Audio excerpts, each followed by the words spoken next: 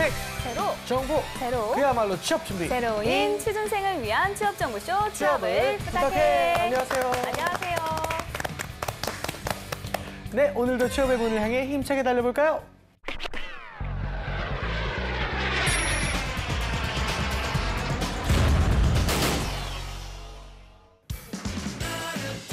너의 취향을 저격해주마. 취향 맞춤 기업 정보 톡. 취향 저격 이 회사는 어때입니다. 안녕하세요. 안녕하세요. 네, 오늘도 저희와 함께 해 주실 분들 소개할게요. 취업 컨설턴트 홍기찬 쌤, 취향 저격수 양상국 형, 캠퍼스 특파원 이영훈 학생과 빅데이터 전문가 전민기 팀장 나와 있습니다. 어서 오세요. 반갑습니다. 네, 안녕하세요. 아니, 팀장님 몸 상태는 좀 괜찮으시셨나요? 건강은 좀 어떠세요? 이제 견딜만 하고요. 네네. 근데 뭐 다른 얘기긴 한데 그 코디 해주시는 분이 네. 네. 제가 결혼한 걸 모르시는 것 같아요. 어, 왜요, 왜요, 왜요? 왜요? 그 저만 너무 신경을 써주시는데 선생님, 걱정이 좀 됩니다. 옛날에 되게 베스트 입은 꼴불견이라고 그거 입고 소개팅 나오면 절대 안 된다고 그랬었거든요. 여자들이 싫어하는 패션 1위. 1위 베스트, 예. 체인 2위. 네. 아니 근데 얘랑 이렇게 둘이 앉아 있으니까 네. 솔직히 영훈 학생 옷도 여자들이 싫어하는 옷이에요. 맞아요. 아, 요- 요즘 GD가 많이 입거든요. GD잖아요. 그래서 GD를 저 취향 저격의 GD가 되겠습니다. 네, 아무튼 우리 영훈 학생도 뭐 이게 워낙 재밌는 친구기 때문에 여자한테 네. 인기가 많을 텐데. 자, 그럼 오늘 알아볼 기업이 어딘지 화면으로 만나보시죠.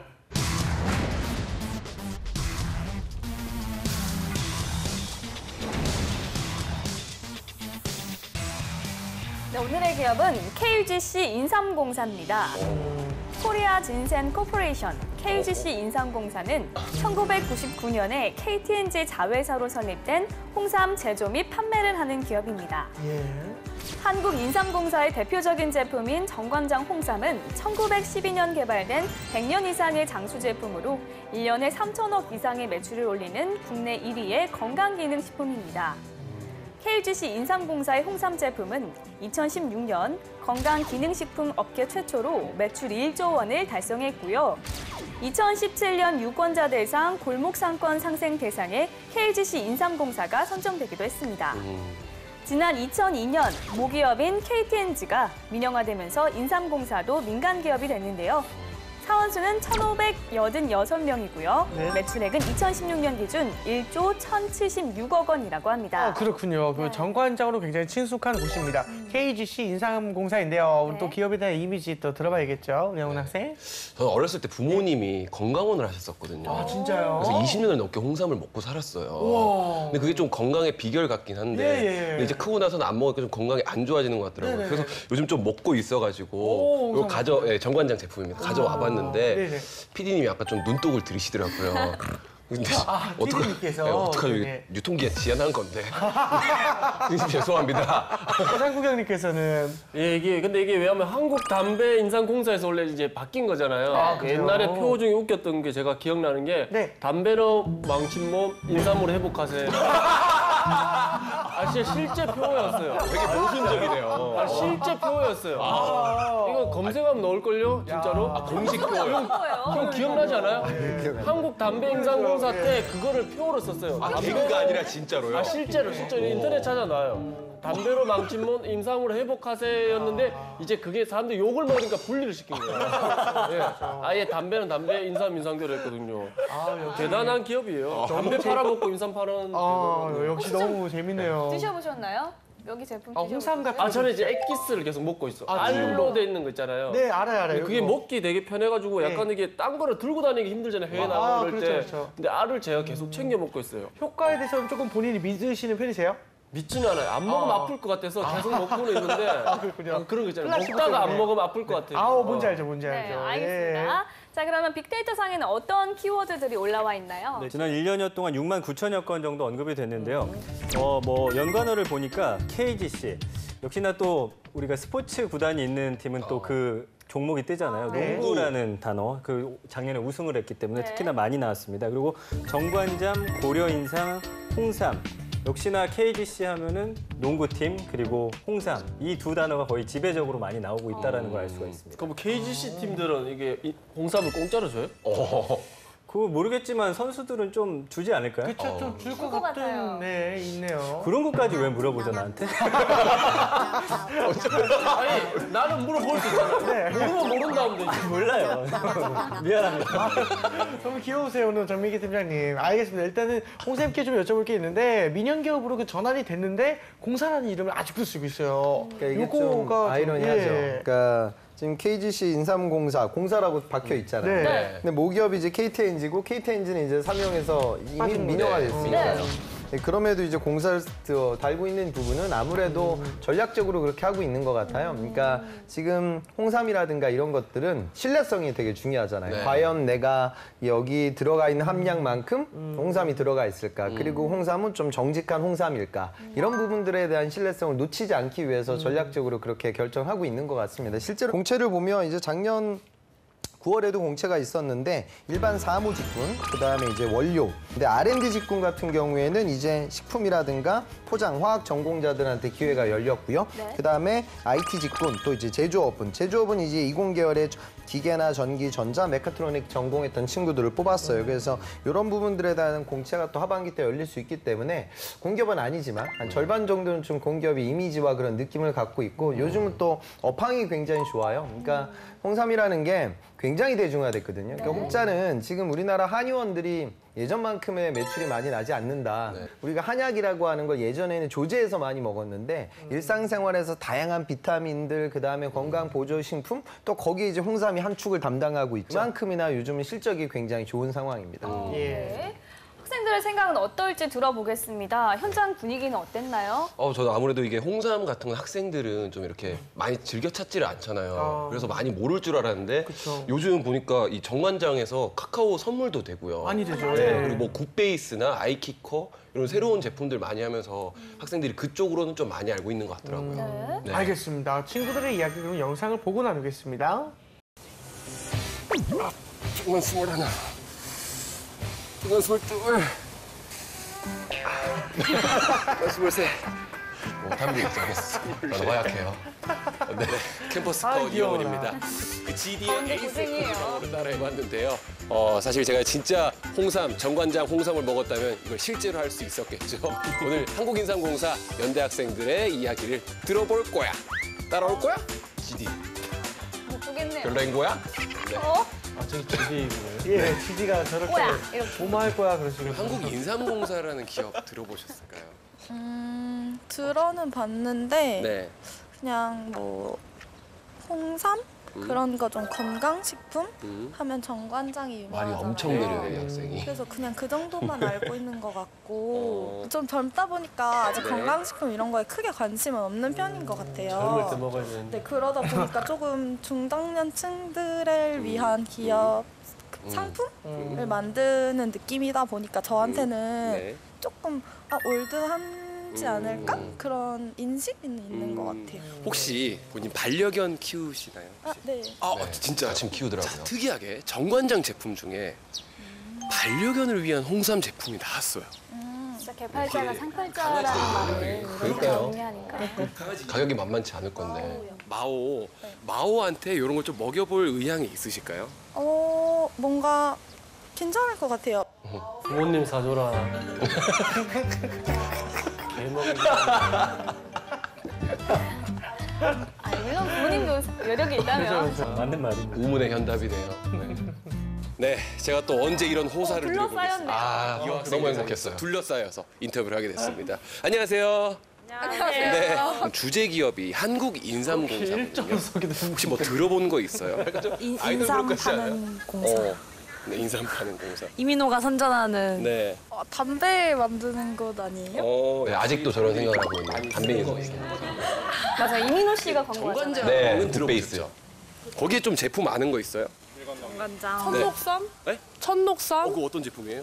그 떠먹는 그 음, 어, 그런 게 있어요? 그렇다 하더라고요. 떠먹는 거 종류가 몇 개 제품 있더라고요. 종류가 워낙에 많더라고요. 그렇죠. 저도 애들 먹는 거 많이 어. 들어봤어요. 공부할 때 뭐 머리를 위해서는 뭐 인삼 먹어야 된다 막 이런 광고. 오늘 연세대는 어떤 일로 오신 거예요?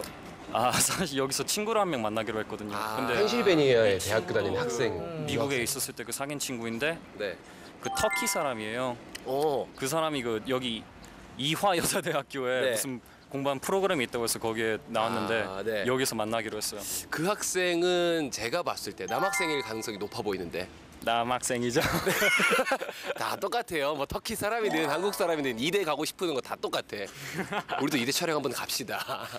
한국 이 사회에서 네. 학생들이 좀 취업 안 된다고들 하잖아요. 미국도 네. 그렇게 좀 요즘 안 좋은 걸로 알고 있는데 어때요?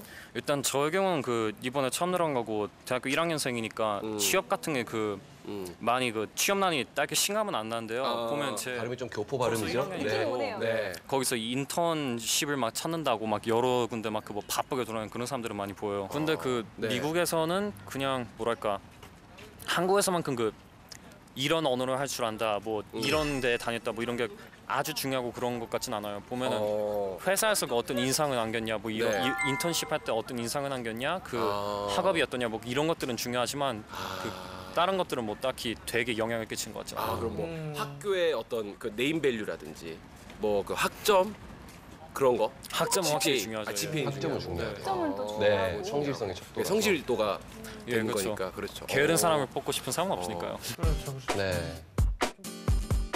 지금 방학인데도. 학교를 나오시네요. 네, 네. 계절학기. 아 계절학기. 혹시 두 학생은 한국 인삼공사라는 기업 알아, 알아요? 들어는 본 것 같아요. 어 들어는 본 것 같아요. 네, 들어봤어요? 농구팀 있는 걸로 알고 있는. 아, 농, 아 맞아. KGC 네. 인삼공사라는 맞아요. 팀이 있는데 어, 평소에 이 기업에 대해서 어떻게 생각하세요? 그냥 공기업 아닌가요? 네, 저런 생각이 많아요. 공사라고 하면 다들 그렇게 네. 생각할 것 같아요. 공기업이라서 돈 많이 벌겠다라는 아, 생각. 10년이 넘었는데 취직하면 돈 많이 벌겠다. 붙여주면 갈 거다. 거기. 아 당연하죠. 당연히 간다. 네, 보, 보고 계시나요? 네. 사실은 이게 공기업이었는데 민간으로 넘어갔거든요. 사실은. 아 네.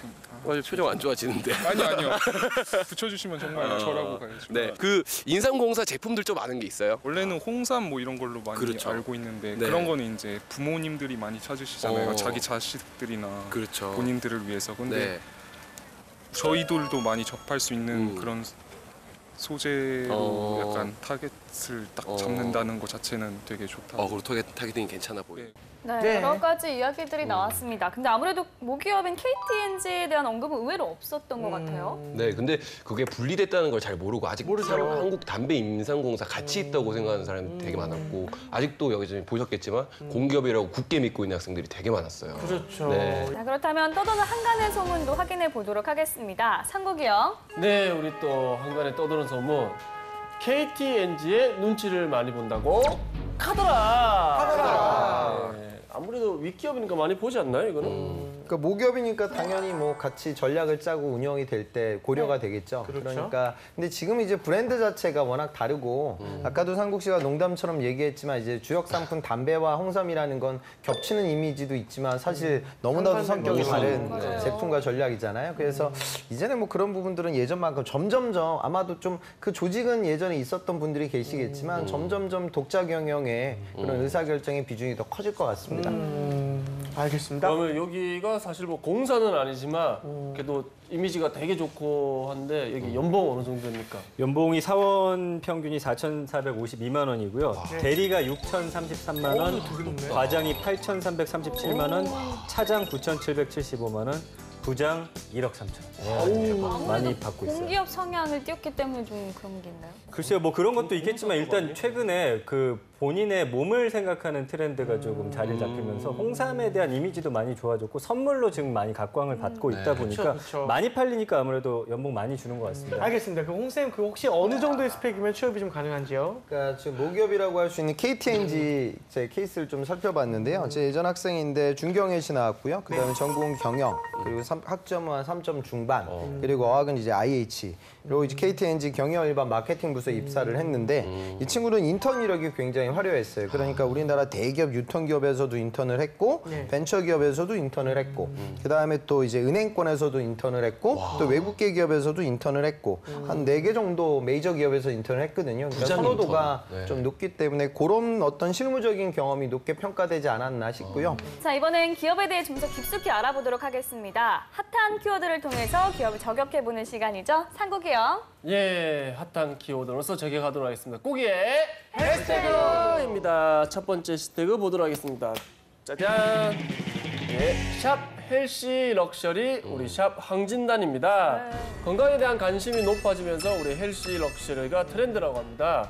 그래서 정관장의 황진단이나 천녹삼 등 우리 럭셔리 프리미엄 제품이 잘 팔린다고 합니다, 지금. 네, 알겠습니다. 가격이 상당히 비쌀 것 같다고 생각이 드는데 우리 전민기 팀장님께서 자세히 한 번만. 그러니까 최근에는 어떤 건강에 있어서는 좀 돈을 아끼지 않는 그런 네. 트렌드가 생겨났어요. 그래서 요즘에 이제 두 가지로 볼 수가 있는데 아예 싸면서 질이 좋던지 그렇지 않으면 아예 비싸고 좋은 거를 찾는 그런 소비 형태가 만들어지고 있는데 예. 그 KGC 인삼공사 같은 경우는 이제 최근에 1년간 판매된 정관장 제품을 분석을 해봤더니 네. 40만 원 이상의 프리미엄 제품이 지금 상당히 많이 팔리고 있다라는 예. 분석 결과를 내놓은 거죠.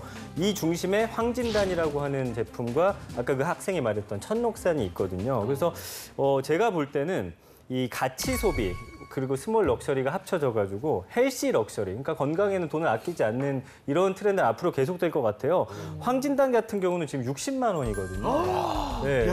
제가 공진단에서 좀 따오지 않았나 싶어요. 그렇죠, 그렇죠. 그런 것 근데 같아요. 이게 너무 비싼 거 아니에요? 저도 아버지 칠순이어가지고 그때 네. 사드린다고 아, 갔는데 황진단으로. 이게, 이게 네네. 30개인가 들었거든. 그 30개인가 들었는데 한 달치인데 60이니까 60만 원이면 비싸죠. 너무 비싸. 근데 우리 아버지 칠순 안 왔어요.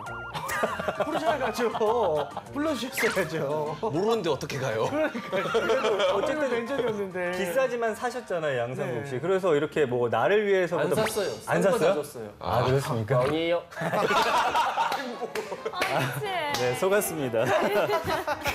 근데 이 전, 이, 이 황 진단이 예. 많이 팔리고 있어요. 그러니까 아, 그래요? 2014년 출시 이후에 매년 20% 이상 네. 성장을 기록하고 있거든요. 그래서 비싼데도. 2015년에 234억 원어치가 팔렸는데 오, 진짜 많이 2016년에는 팔렸네요. 298억 원. 그러니까 27% 성장하고 있으니까 비싸지만 우리 부모님, 우리 가족 또 나를 위해서는 아끼지 않을 것 같다라는 생각이 들고요. 실제로 지금 인삼공사가 매출을 이제 1조 원대를 달성을 했는데 그 이유는 사실은 뭐 여러 가지 복합적이에요. 그러니까 미세먼지, 메르스 사건 뭐 이런 것들이 생기다 보니까 건강에 대한 투자가 많아졌고요. 특히 이제 KGC 인삼공사가 성공한 건 젊은 계층에 대한 공략이에요. 그러니까 저도 데이터를 보고 좀 놀랐는데 실제로 이 홍삼정 Everytime 같은 경우에는 2030 그러니까 아주 젊은 층이죠. 2030 세대 매출 비중이 한 저기 무려 한 30% 가까이나 되거든요. 그러니까 이런 부분들을 보면 젊은층 공략에 성공을 했고 해외 매출을 보니까 지금 해외 시장에서 홍삼 수요가 증가를 해서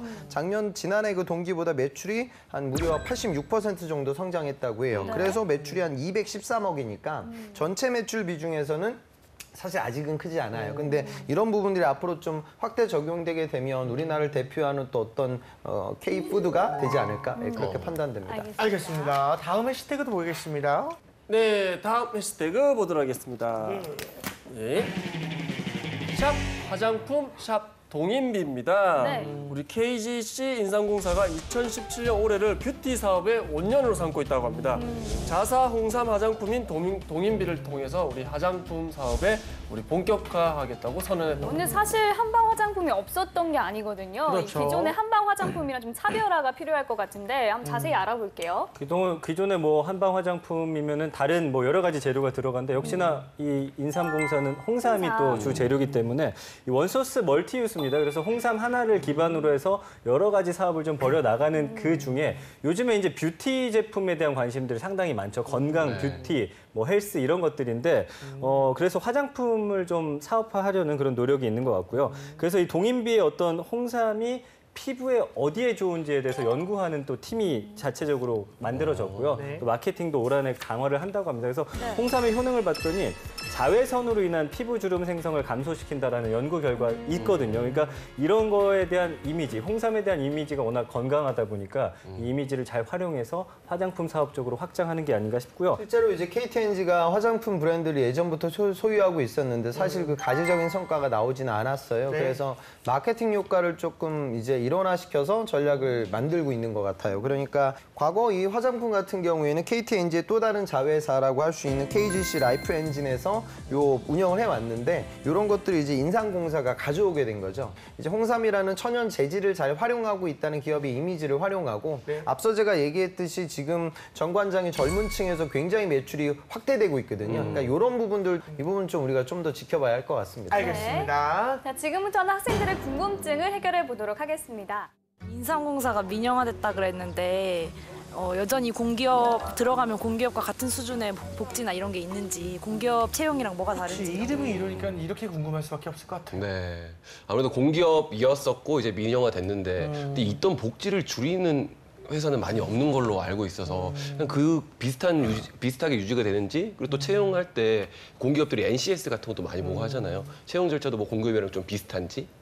그러니까 NCS라는 채용 절차는 뭐 국가 전체적인 채용 시장의 변화이기 때문에 당연히 해당 기업도 따라갈 거다 우리가 이렇게 예상을 해야 되고요. 그 다음에 주로 이제 공기업이 민영화되게 되면 그 과- 과거에 공기업에 종사하셨던 분들의 반대급부가 많아, 많아지고 그러다 보니까 기존의 어떤 업무 환경이라든가 직원의 복지라든가 이런 부분들은 그대로 유지될 때가 많아. 이 부분은 대기업에다 스피노프 분사하는 케이스도 동등하거든요. 그래서 그 부분은 아마 좀 비슷하지 않을까. 하지만 이제 장기적으로는 네. 지금 또 많은 대기업들이 또 홍삼 홍삼 시장을 또 보고 있어요. 우리나라 식품 기업들이요. 그러니까 이런 부분에 있어서 얼마나 시장을 사수할까 그 부분을 조금 더 지켜봐야 하기 때문에 안정성만을 위해서 내가 공기업에서 최근에 민영화된 민영화 기업을 가야지. 요거는 그렇게 좋은 선택은 못 될 것 같습니다.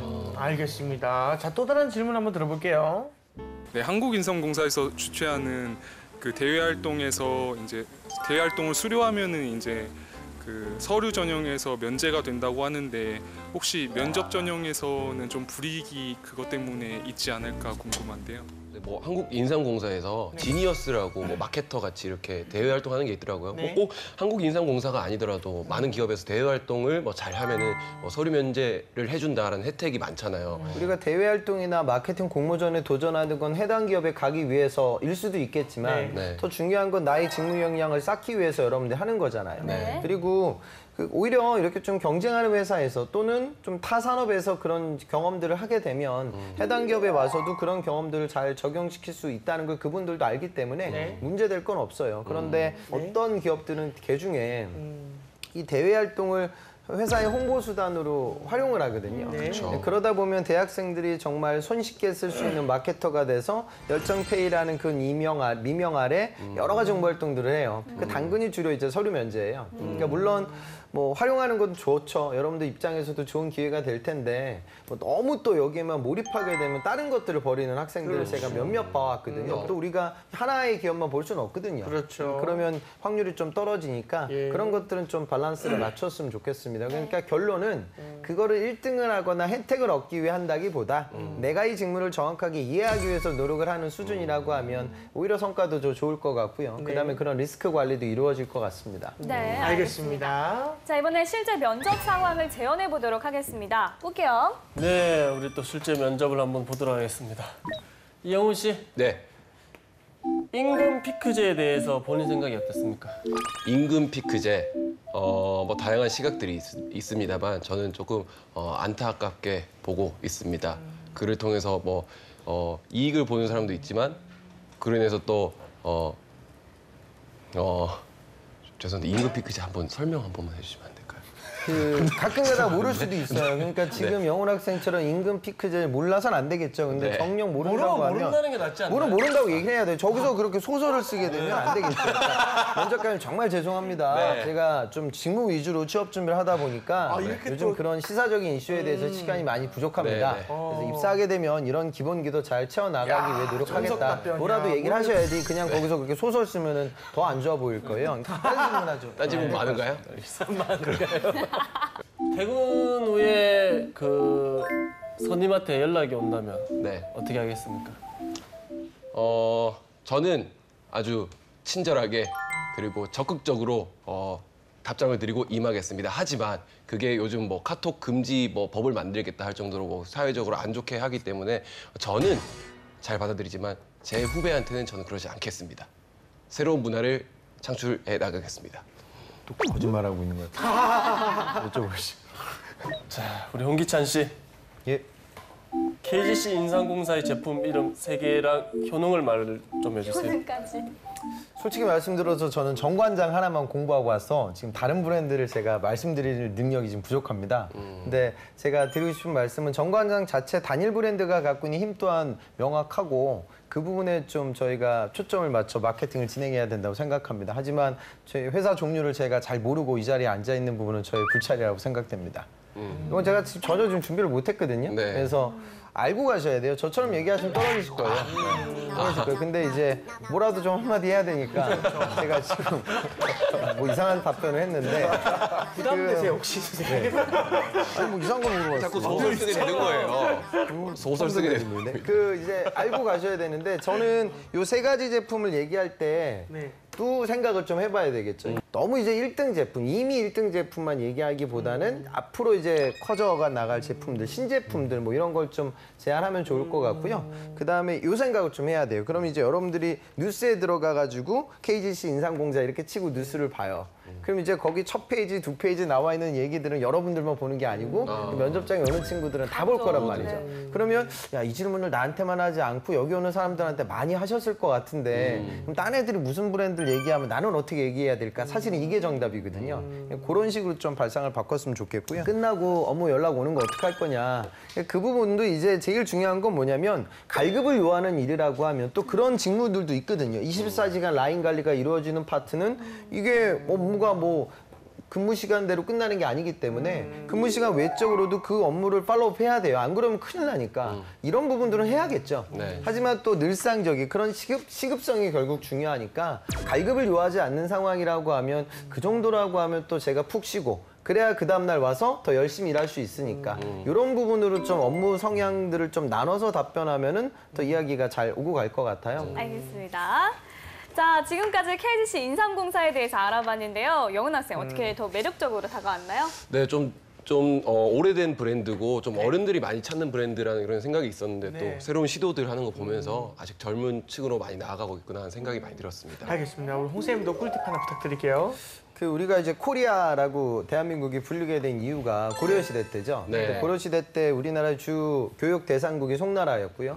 그 당시 이제 개성 바로 앞에 있는 섬 벽란도가 벽란도. 무역의 거점이었고 네. 거기 대식국 상인들 그러니까 아라비아 아라비아 상인들도 왔다 갔다 하면서 우리가 코리아 이렇게 불리우게 됐어요. 네. 그 당시 우리나라의 주 수출 상품이 예, 인삼이었고요. 그러니까 어찌 보면 아주 예전에 인삼이라는 상품이 대한민국을 대표했던 상품이에요. 물론 지금은 그 자리는 더 높은 부가가치를 창출하는 반도체, 석유화학, 자동차들이 자리매김했죠. 근데 어찌 보면 이렇게 기본에 충실할 수 있는 우리나라를 대표할 수 있는 상품이 또 해외, 해외 시장에 나아가는 그런 긍정적 모습을 회사가 좀 만들어 나갔으면 좋겠어요. 그러면 또 전체적으로 브랜드 인지도도 올라가고 또 수출 사업이 더 커질 수 있는 기회가 되지 않을까.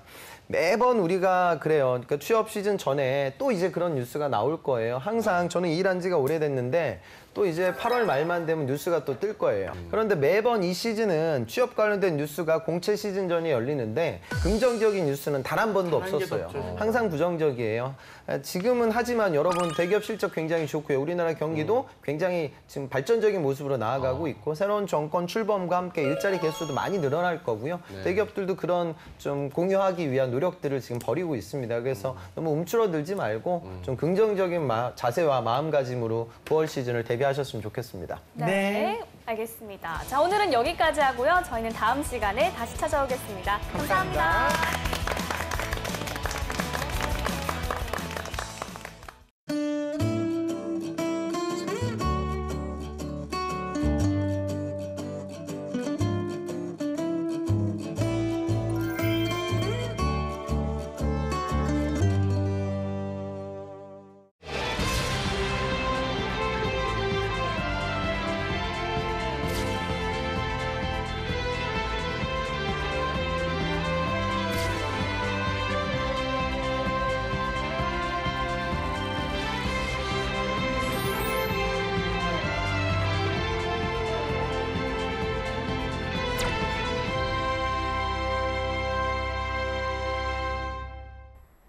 안녕하세요.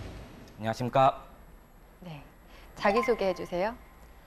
안녕하십니까. 한국국토정보공사 지적측량 분야를 지원한 김서연입니다. 제가 한국국토정보공사에 적합한 이유는 첫째, 한국국토정보공사 인턴을 하며 실무 경험을 쌓은 것입니다. 둘째, 성실성입니다. 인턴을 하며 제일 먼저 출근을 하여 직원들이 필요한 물품을 준비하였고 업무를 빨리 끝내기 위하여 끝까지 남아 업무를 처리하였습니다. 그리고 세 번째 이유는 제가 수익을 창출할 수 있다고 생각합니다. 최근 사세를 크게 늘리고 있는 한국국토정보공사가 공간정보 사업처로 사업을 확장하고 있습니다.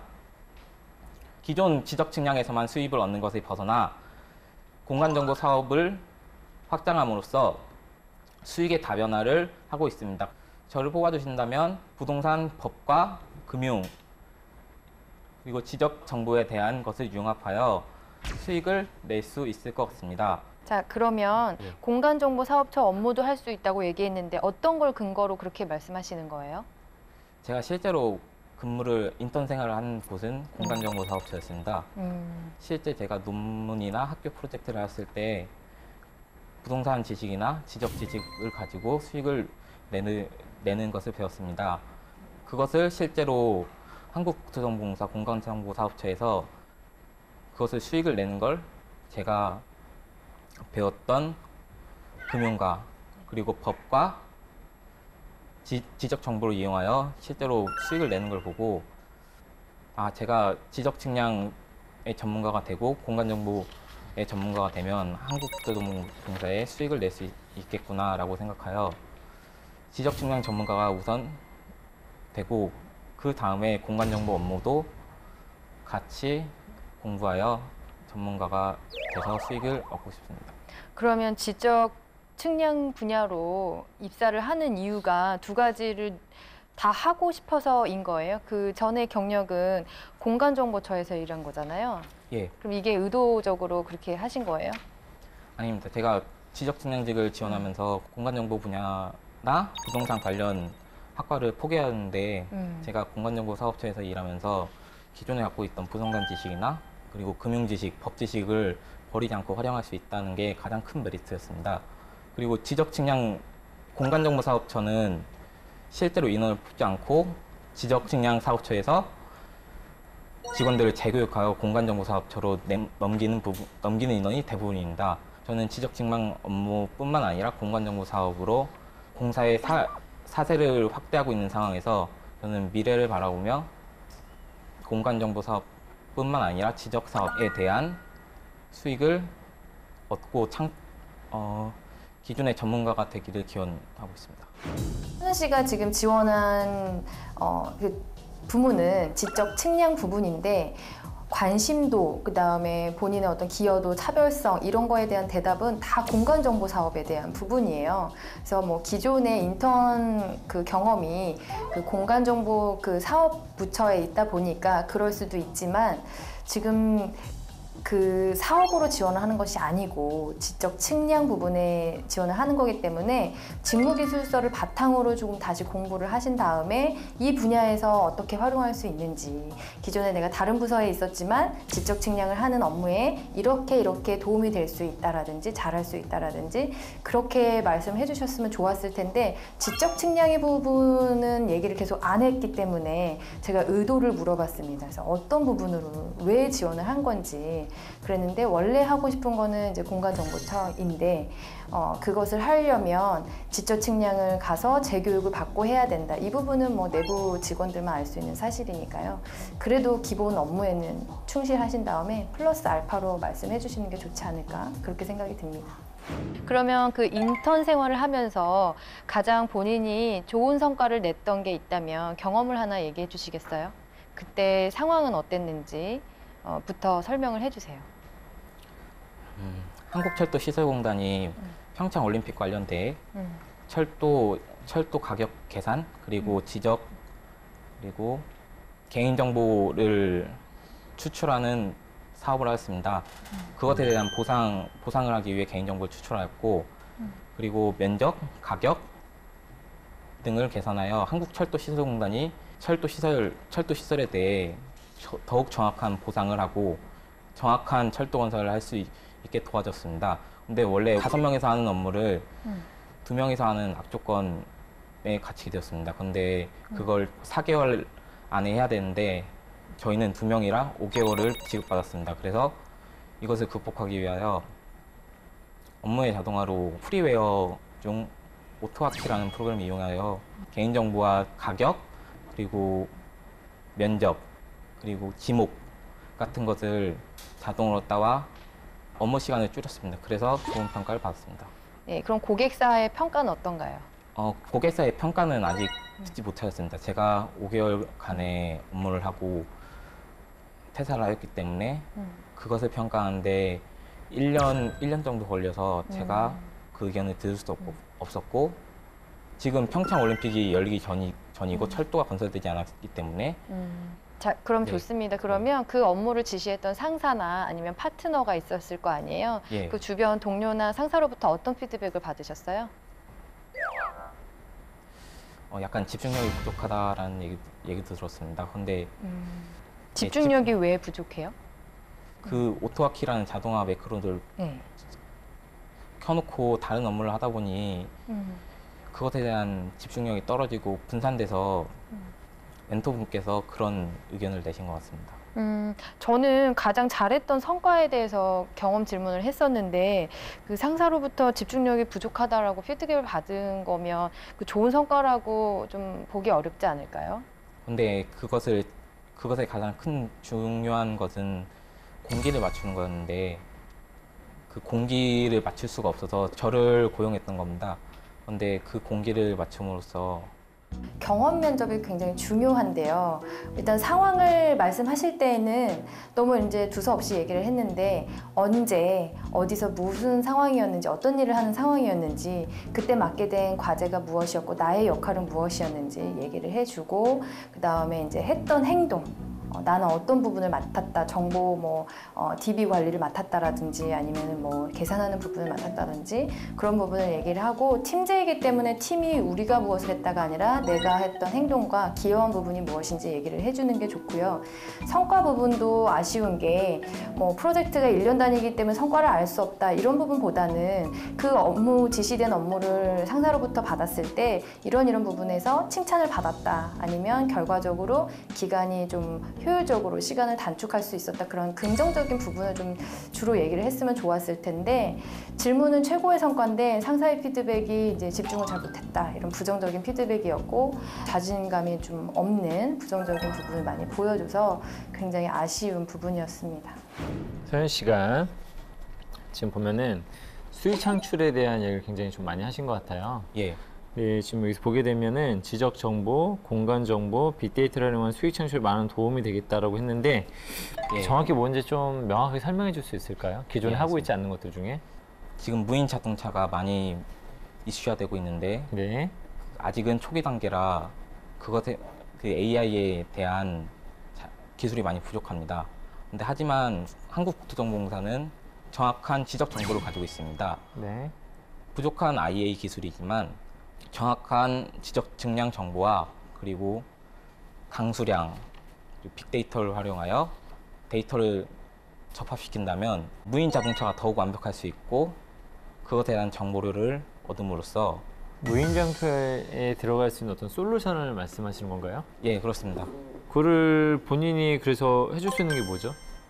그냥 어, 아이디어입니까? 개념적인 아이디어를 얘기하신 겁니까? 아니면 본인이 솔루션을 만들 수 있다는 겁니까? 개념적인 아이디어입니다. 제가 개념적인 아이디어. 음. 신입 차원에서 회사를 정확히 이해를 못하고 있는 가운데서 수익 창출을 뭐 할 수 있다. 뭐 이런 어떤 제시를 하는 것은 사실은 면접관에서는 당연히 궁금증과 어떤 호기심을 자극할 수밖에 없기 때문에 그런 부분에서 좀 물어볼 수 있는 질문이긴 하나 그 부분에서 본인의 어떤 수익 창출을 본인이 주도적으로 한다는 개념, 개념이라기보다는 그냥 어떤 무인 자동차에 들어갈 수 있는 어떤 솔루션을 우리 회사가 만들 수 있지 않을까라는 너무 좀 제한된 좀 개념적인 어떤 정도 수준의 아이디어 본인이 이끌어 나갈 수 있는 것이라기보다는 다소 좀 아쉬움이 좀 있었습니다. 법이라든지 금융이라든지 경제도 본인은 잘 알고 있다. 제가 보기에는 굉장히 능통하다는 어떤 느낌으로 좀 받아들였는데 예. 이 부분에서 본인이 좀 공부한 게 어떤 것인지 좀 설명해 줄 수 있을까요? 법은 가장 중시한 것은 도시계획법과 그리고 국토의 국토 활용에 관한 법률입니다. 이것을 이용하여 그 금융과 그리고 정치, 경제를 고려하여 정치요? 예, 그렇습니다. 금융, 정치, 경제? 부동산은 정치, 정치하고 경제에 많은 영향을 끼치는 아, 영향을 받고 이게 있습니다. 본인이 이런 방대한 지식과 정보를 어떻게 다 이해하고 컨트롤할 수 있죠? 제가 다 이해 못하는 못하는 경우가 있더라도 빅데이터를 이용하여 그 정보를 평준화하고 시각화하여 결론을 낼 수 있을 것이라고 생각합니다.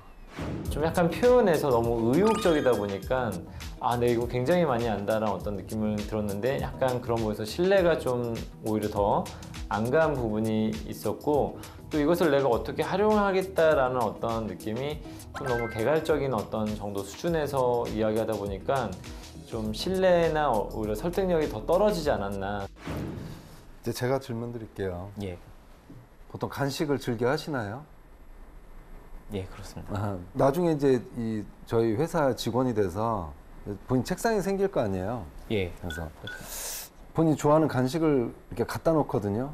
그 예. 잠깐 어디 갔다 오면 이게 자꾸 없어지는 거예요. 예, 그렇습니다. 누군가가 이제 갖다 먹는 거죠, 그죠? 예. 이런 게 자주 벌어지고 있어요. 이럴 때 어떻게 하실 거예요?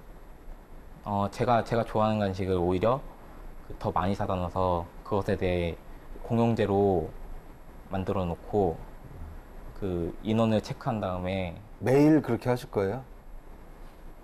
그 많이 갖다 먹는 인원과 협의하여 그분 그분도 같이 그분도 같이 이것 좀 사다 달라 아, 하고 그러면 많이 갖다 먹는 사람이 누군지 어떻게 알아내실 거예요? 물어볼 거예요. 이렇게 누가 뭐 갖다 드셨나요? 뭐 이렇게 물어볼 거예요. 전체적으로. 그 갖다 먹은 인원들과 같이 화합을 하여 상황 판단력 문제에다가 그 사람의 어떤 대인관계 능력이나 어 뭐 그런 걸 이제 파악하기 위해서 던진 질문인데 이미 기출됐던 질문입니다. 그래서 이제 이게 그 뭐 인성까지도 파악할 수 있는 거라 이 질문을 골랐고요. 답변에 대한 내용은 이따 컨설팅을 할 때 그때 좀 더 자세하게 말씀드리겠습니다. 마지막으로 하고 싶은 얘기 있으시면 해주시고 마무리하겠습니다. 지적 측량 분야, 지적 측량 분야라는 분야와 그리고 부동산 공간 정보 분야 이 두 가지를 합치면 엄청난 효- 시너지를 불러일으킬 수 있고 향후 20년 동안 세계를 지배할 4차 산업혁명에 대한 지배를 영향력을 높일 수 있습니다. 그것을 저와 같이 하신다면 저도 최선을 다하여 4차 산업혁명에서 한국이 주도적인 역할을 할 수 있도록 노력할 것이고 비록 제가 준비를 열심히 했음에도 말 말을 더듬은 것 때문에 제가 제 자신을 완전히 밝혀내지 못하였지만 이것을 이것을 제외하고 봐주신다면 이렇게 면접과 다르게 실제 업무에서 시행착오를 겪어가며 한국국도정보공사가 국민에게 신뢰와 그리고 4차, 4차 산업혁명에 대한 주도권을 가질 수 있다고 생각합니다. 네, 수고하셨습니다. 네, 감사합니다. 수고했습니다. 수고하셨습니다. 네.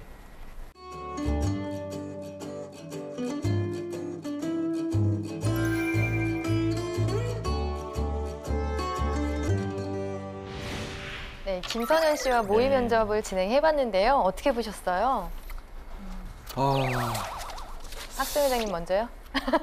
저 먼저 할까요? 네, 좀 그려주세요. 생각할 거 지금 저는 되게 심플하게 많아요. 그냥 음. 생각나는 대로 설명을 네. 드릴게요. 어쨌든 뭐 면접이라는 것은 또 면접관이 음. 또 어떤 자기 집중적인 어떤 생각이나 이것을 위해 결정을 할 수 있으니까요. 음. 전 등급은 C 마이너 좀 드리고 싶고요. 네. 약간은 좀 아쉬웠던 점은 다소 처음엔 자신감으로 시작했는데 음. 점점 자신감이 하락했어요. 주식이 쪄- 떨어지듯이 너무 많이 음. 막 이제 좀 떨어졌다는 느낌이 좀 들었고요. 네. 그러다 보니까 다소 좀 약간 의욕적으로 음. 시작했는데 다소 좀 햄사수를 한 듯한 느낌이 들어서 음. 이게 무슨 얘기를 하다 간 건지 약간 잘 기억에 남지가 않는다라는 음. 어떤 좀 아쉬움이 있고요. 그리고 저는 가장 좀 컸던 것 중에 하나는 너무 의욕이 있었던 것 같아요. 이게 음. 뭐냐면 어, 너무 내가 뭐 다 바꿀 수 있다. 내가 수익 창출해줄 수 있다. 너네 음. 나만 뽑아주면 나이 음. 회사 너희들 이제 끝난다. 약간 이런 느낌이 살짝 좀 있어요. 그래서 음. 제가 볼 때 너무 이 가욕을 부리지 않았나. 좀 그런 것들이 면접에서는 좀 겸손해 보이지 못할 수도 있고 너무 좀 뭐랄까요. 너무 막 뭔가 들이대는 듯한 어떤 느낌만 들어서 그런 부분을 좀 선현 씨가 잘 수정 보완하셔야 되지 않을까라는 생각 좀 해보게 되었습니다. 네. 네네네. 삼촌, 네. 저는 솔직히 아까 그 셀프 영상하고 자소 써봤을 때 뭐 B, A 뭐 이걸 넘나들고 있었어요. 음. A 뿔 나오겠다고 생각을 하고 있었는데 네. 이제 면접에서 그런 점수를 저는 못 드릴 것 같아요. 음, 그 이유가 제가 생각을 해봤더니 김선현 씨는 음. 아는 게 힘이다가 아니- 아니라 모르는 게 약이다. 이게 맞는 것 같아요. 왜 그러냐면 어, 지적 측량 지원을 했다 그러면 거기에 해당되는 말만 좀 했으면 좋겠는데 그쵸. 둘 중에 어딜 지원하는지 나중에는 이제 뭐 헷갈려 버리기도 하고 네. 길을 잃어버리기도 하고 네. 그래서 공간정보처에서 일을 하지 않았으면 지적 측량 아니면 그걸 얘기를 안 했으면 지적 측량에 지원하는 거에 맞춰서 집중해서 좋은 평가를 받았을 것 같아요. 너무 많이 안 게 화를 불렀다. 같네요. 아니요, 뭐 화는 안 났어요. 아니 그 제가 만약에 화가 난 표정이었다 그러면 아까 너무 좋았는데 왜 여기서 못했을까? 저는 제가 지금 그것 때문에 화가 났을 것 같아요. 음. 그래서 어쨌든 저는 C 중에서도 C 마이너 음. 네, 주겠습니다. 네. 두분 다 C 마이너스를 주셨는데요. 네. 음, 저는 면접을 보면서 커뮤니케이션이 잘 안 됐다는 느낌이 네. 들었어요. 경험 면접을 하면서 얘기를 들어보니까 진짜로 한 거는 맞아요. 근데 원하는 대답을 잘 못하고 의도한 질문에 대답을 다른 방향으로 좀 많이 하고 부정적인 결과를 많이 얘기하고 음. 그래서 음. 저도 이제 C 등급인데 음. 관련된 경험이 있어서 뭐 잘 할 수는 있으니까 일단 음. 준비를 많이 해야 돼서 저는 플러스를 좀 달아주고 싶어서 음. C 플러스를 드리도록 하겠습니다. 네. 네. 선현 씨 모의 면접 진행해봤는데 예, 어떠셨어요?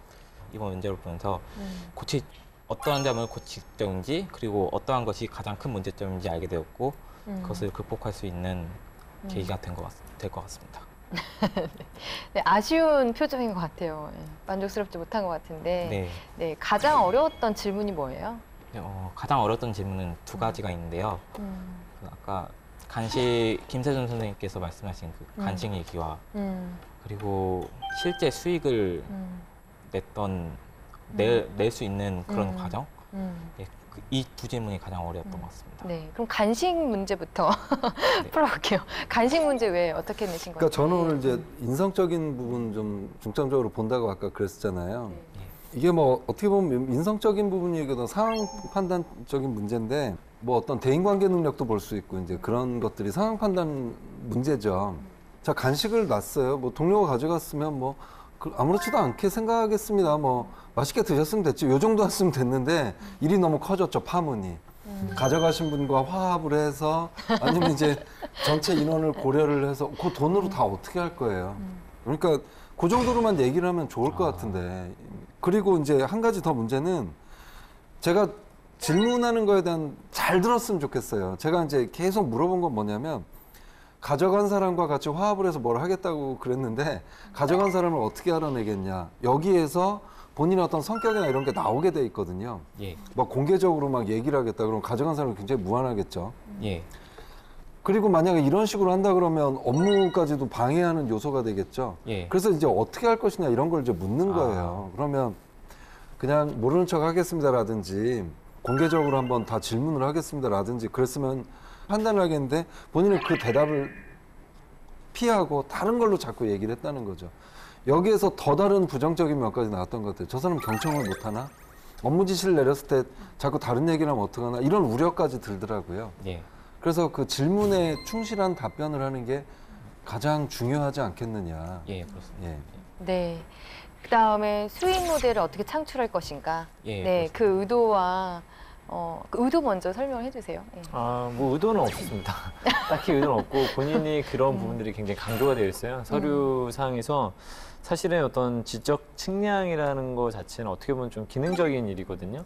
근데 그런 어떤 부분에서 의외로 되게 수익 창출에 대한 이야기들 되게 많이 꺼내고 있어서 예. 약간 의외를 좀 의외성이 좀 있다고 느꼈었고요. 그래서 어쨌든 지금 전체로 보게 되면 수익 새로운 가치 창출 사업 그다음에 여기 수익 모델을 찾는데 도움이 되겠다 이런 편들이 지금 두 개나 나왔었거든요. 그래서 예. 당연히 이거는 의구심을 갖고 물어볼 수 있는데 이 사람이 무엇을 갖고 있는가라고 했었을 때 딱히 그냥 개념적인 정도 수준밖에 안 되는 것 같아요. 제가 봤을 때는 개념 정도밖에 지금 안 되는 거를 너무 근데 여기 안에다 너무 많이 표출하다 보니까 예. 오히려 오해를 살 수 있거든요. 예, 그래서 이 사람은 좀 자기의 어떤 지원한 어떤 분야보다는 좀 회사가 되게 추구하고 되게 크고 좀 주목받을 수 있는 부분에서만 너무 강조하고 있다라는 어떤 느낌이 들었고 막상 이야기 들었을 때는 아주 막 참신하다거나 아주 이게 이 사람만이 할 수 있는 어떤 특별한 어떤 아이디어로 하기보다는 다소 약간 너무 개념적인 부분만 설명하다 보니까 좀 아쉬웠었고요. 그래서 전반적으로 좀 그런 게 많았던 것 같아요. 그러니까 이 회사에서 봤었을 때 어, 너무 어떤 표현을 강조하면 안 되거든요. 예. 신입이잖아요. 신입은 그냥 회사 입장에서 봤을 때는 그냥 그냥 신입일 뿐입니다. 그랬을 때에는 이런 거 공부하려고 노력해 왔습니다. 애쓰고 있습니다. 해야 되는데 좀 너무 크게 말한 것 같아요. 아, 뭐 이거 내가 다할 수 있다. 다른 애들은 막 부동산학과 나와가지고 나 금융도 알고 법도 알고 재무도 알고 경제도 한다고 말하는 건 되게 오바거든요. 예. 무슨 말이에요? 이거는 우리나라 어떤 박사가 와도 말하기 힘들어요. 그 분야 네. 내가 다, 다 알고 있다. 부분적인 것들을 전공적으로 배우고 있는 것을 너무 학대해서 이야기하고 있는 것들이 전 너무 이 면접이라는 어떤 부분에서 사람들이 아, 이 사람 능력 있으니까 뽑아야 된다고 너무 머릿속에 생각하고 있는 것 같아. 예. 생각보다 능력보다는 아, 그냥 노력하는 사람이구나. 저 사람 성실한 사람이구나. 네. 겸손한 사람이구나 하게 되면 뽑아줄 수 있는데 약간 면접에 대한 컨셉을 잘못 이해하고 있거나 아니면 아, 면접은 굉장히 똑똑한 사람을 뽑는 것이다라고 좀 착각을 하고 있는 게 아니었을까라는 약간의 아쉬움이 좀 있었습니다. 네. 네. 음. 그러면 저희가 그 선현 씨 면접 본 거 중에서 음. 어, 가장 잘했다고 할 만한 것들 뭐가 있을까요? 좀 칭찬도 예, 좀 해주셔야죠. 어떤 게 좋은 것 같아요? 처음은 되게 좋았어요. 음. 인트로 부분. 음, intro. intro 부분에서 굉장히 큰 네. 목소리로 음. 말을 한다는 것 자체가 네. 아, 이 친구는 그래도 면접을 나름대로 준비를 했구나라는 느낌을 음. 좀 받았거든요. 근데 네. 물론 거기서도 이제 수익 창출 얘기하면서부터 말이 꼬이기 시작했어요. 거기서도 얘기를 했었는데 그래도 저는 앞부분에서 큰 목소리로 말할 수 있다는 건 굉장히 좋은 거거든요. 음. 사실은 저는 맨 앞에서 큰 목소리로 자기소개를 처음에 인트로를 시작한다는 것은 거의 합격의 한80% 가까이 음, 갈수 그쵸. 있는 굉장히 네. 큰 용기와 어떤 자신감이 아니었나. 나중에는 하락하긴 했지만 다소 아쉬웠어요. 그 부분은. 음. 끝까지 그걸 좀 유지했더라면 어땠을까라는 생각이 좀 들었습니다. 네. 그러면 저희가 아쉬웠던 것도 또 꼽아야 되는데 아쉬웠던 답변은 뭐가 있을까요? 음, 저는 아까 전에 그 충분히 본인이 긍정적으로 분명히 이 면접을 끌고 나갈 수도 있는데 약간 그 면접을 하실 때 뭐 이 결과물이 뭐냐 어떤 피드백을 들었냐 했을 때 다 부정적으로 얘기를 하셨던 것 같아요. 네. 예를 들면 이렇게 했더니 상사한테 어떤 얘기를 들었어요 했더니 갑자기 생뚱맞은 답이 나왔어요. 집중력이 부족했다는 얘기를 들었다. 네. 가 아니라 아 상사가 굉장히 나의 어떤 성실함을 칭찬해 주었다든지 넌 참 집중력이 좋구나 라는 이야기를 뭔가 하는 것이 자기 PR이고 면접이잖아요. 근데 예.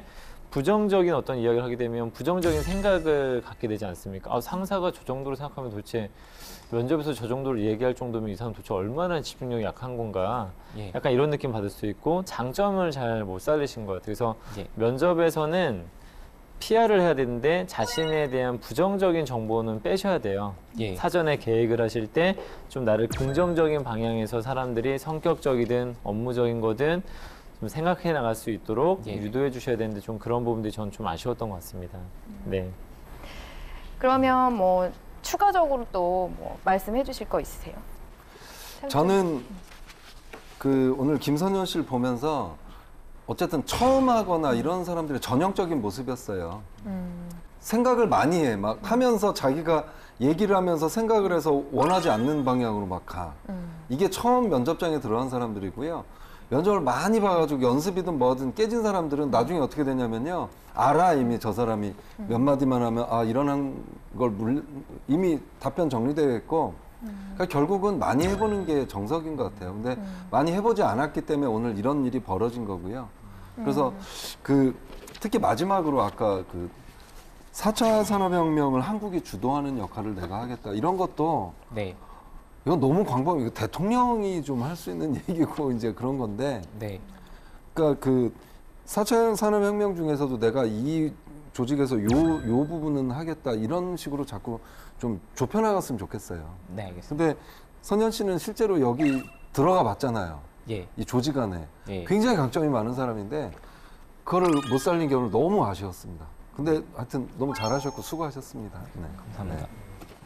자기소개서에서 보면 예. 이렇게 중간중간에 긴 문장들이 있어요. 길이가 세줄 예. 정도 되는. 근데 말이 긴 사람들이 그 글이 긴 사람들이 말을 할 때도 좀 길더라고요. 예. 그래서 대답을 할 때 뭐뭐 하여 뭐뭐 하여 이러면서 되게 길게 문장 마무리가 좀 예. 길게 돼요. 그래서 그렇습니다. 한 문장 한 문장씩 끊어서 간결하게 해주시면 더 좋을 것 같고요. 네. 그리고 이제 뭐 긴장하셔서 그런지 앉았을 때 주먹이 이거 대답을 하는 단어마다 계속 이렇게 박자를 맞추는 듯한 예. 그런 모습이 보였거든요. 네, 그래서 그런 부분도 이제 영상으로 보시면서 조금 이제 어, 수정을 좀 해보시면 좋을 것 같고요. 예. 그리고 그 상황 면접 같은 거 조금 어려웠었잖아요. 수익 네. 모델이라든지 뭐 이런 거를 생각할 시간이 필요하면 대답을 하지 않고 계속 쭉 있지 말고 잠시만 생각할 시간을 주시겠습니까? 얘기를 해주신 다음에 저희가 기다릴 수 있도록 배려를 해주시면 네. 조금 더 좋은 모습으로 보여지실 것 같아요. 네, 알겠습니다. 네. 오늘 좀 다소 아쉬운 평가 때문에 어, 지금 아, 또 자신감이 없어 보이는데 면접 자신감 중요합니다. 네. 네, 서현 씨 네, 자신감 가지시고요. 네. 또 뭐 준비할 시간이 조금 더 남았으니까 네. 꼭 원하시는 곳에 입사 성공하시기 바랍니다. 네, 알겠습니다. 네, 수고하셨습니다. 네, 수고하셨습니다. 수고하셨습니다.